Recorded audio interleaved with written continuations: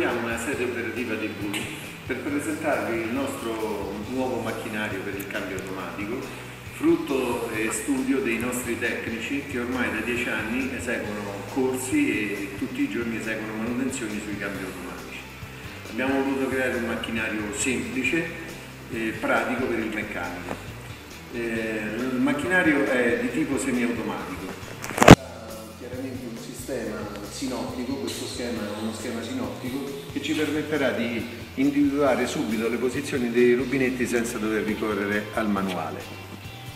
Da subito notiamo che per inserire l'additivo di lavaggio basterà posizionare la leva in A1, okay? Eh, scusate l'additivo in A2, additivo, e l'inserimento dell'additivo B1. Questo tasto che ha la funzione di dip stick dovrà sempre stare nella posizione off perché verrà utilizzato solo con il sistema che presenteremo poi dip stick. Quindi diciamo che la macchina ha solo due tasti per fare queste funzioni. Posizionate le leve in questa maniera potremmo inserire l'additivo in, in questo barattolo che ci permetterà di poter inserire sia l'additivo eh, di lavaggio sia l'additivo alla fine oppure di fare un piccolo rabocco di lubrificante se serve senza dover caricare nella macchina. L'innesto sarà rapido e in questa posizione accendendo la macchina l'additivo verrà inserito nel cambio tramite il tubo trasparente tutti i passaggi della macchina, ehm, trasferimenti di olio, additivi, eh, avvengono sempre dal tubo trasparente. Dopo, dopo questa situazione dell'additivo dovremo fare il lavaggio. Per posizionare la macchina in funzione di lavaggio basterà inserire A1 B2 lavaggio. In questo caso l'olio entrerà nel cambio e ritornerà nella macchinetta, verrà filtrato e ritornerà facendo un giro in bypass. Quindi vedremo il passaggio dell'olio nelle ampolle e vedremo impegnati i manometri in entrata e in uscita. Oh, in questa situazione è anche possibile controllare se abbiamo collegato bene i tubi. La macchina innanzitutto ha un'elettronica che ci permette in caso di inversione dei tubi eh, come vediamo che arriva una sovrappressione, quindi eh, l'olio arriva a 4,5-5, la macchina blocca in automatico e ci segnala chiaramente c'è qualcosa che non quadra. E quindi posizionando i tubi nel, nel cambio, accendendo il motore della macchina dovremmo vedere salire prima l'ampolla dell'olio usato, il manometro dell'olio usato e poi quello del nuovo. In più abbiamo un altro sistema di controllo questo tubo trasparente ci permetterà, mettendo in moto la macchina, che se vediamo oh, entrare nel tubo olio sporco, sicuramente abbiamo sbagliato i tubi.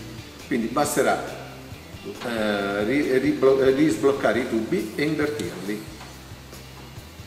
Quindi questo sistema ci permette anche il controllo del passaggio del flusso, quindi dovrà sempre essere impegnato prima l'olio vecchio, il manometro dell'olio vecchio che è sotto all'ampolla, per poi arrivare nell'olio nuovo.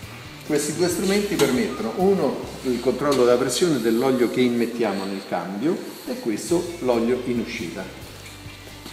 La macchina dispone anche di un sistema per cui ha un'asta dentro la tanica che pescherà fino all'ultimo goccio. Addirittura le taniche sono leggermente inclinate per permettere proprio l'aspirazione di tutto il prodotto nuovo, in maniera che non dobbiamo stare a pulire le taniche ogni volta che dobbiamo cambiare tipo d'olio questo sarà il tappo di carico. Quindi qui avremo la tanica del nuovo e qui avremo l'olio vecchio. Chiaramente qua è graduata ogni tacca sono 5 litri ci permetterà di eseguire il lavoro. La macchina dispone anche di una piccola innovazione, cioè abbiamo una griglia dove possiamo versare o olio o mettere a scolare un raccordo dopo che abbiamo usato nel cambio in più dispone di un foro dove possiamo inserirci le stecche o scolare altre cose e in più un piccolo punto di appoggio sopra. Questa macchina dispone anche del sistema dip stick come abbiamo visto da, nel quadro sinottico e questo ci permette, grazie a questo tasto posizionato dietro la macchina, di inserire un tubo nell'apposito attacco di testicche e posizionando il rubinetto in D3, quindi recupero olio, la macchina, inserendolo dal eh, tubo di controllo dell'olio dove c'è la stecca, eh, ci permetterà, accendendo la macchina, di aspirare l'olio e mandarlo nella tanica del vecchio. Commutando il rubinetto all'insopra, in D1, la macchina pescherà olio nuovo da questa tanica e ce lo andrà a inserire nel cambio. Questa operazione è molto utile specialmente nelle jeep dove non abbiamo il tappo di scarico oppure se capita che mettiamo troppo olio in un Mercedes o dobbiamo rabboccarne un po'. Quindi una, una piccola soluzione per problemi che possono capitare. Abbiamo posizionato la presa di carico in alto perché, eh, la, scusate, la presa di corrente in alto perché molto spesso ci troviamo vicino magari a una colonna e non c'è bisogno di prendere la prolunga quindi altra piccola comodità. Okay. La macchina ci permetterà um, anche per, chiaramente quando dobbiamo fare il cambio dell'olio un, una semplicità assoluta, quindi posizionando in A3, B3 e come vedete è impossibile sbagliarsi, inserimento olio nuovo e recupero vecchio, ok? Potremmo col tasto di accensione della macchina inserire olio nuovo nel cambio ok? Mettendo in moto il veicolo vedremo defluire l'olio vecchio che andrà chiaramente nella tanica. Abbiamo voluto la semplicità assoluta e in più abbiamo posizionato un controllo temperatura per proteggere anche il macchinario, la tubazione e tutto quanto. Nel caso noi avessimo oli che raggiungono 100, più di 170 gradi, il macchinario chiaramente blocca e ci avvisa e quindi dobbiamo aspettare un po' eh, per il raffreddamento. Questa macchina è stata tutta prodotta insieme ai nostri tecnici in Italia, ci teniamo tantissimo, eh, dove abbiamo carpenteria italiana, verniciatura italiana, pompa italiana, l'elettronica italiana e anche la raccorderia è tutta italiana. È sicuramente una macchina semplice eh, che è quello che serve in officina, senza tante complicazioni con l'elettronica o cose varie. La nostra azienda sta già sviluppando tutti i nuovi raccordi che ci serviranno nei veicoli.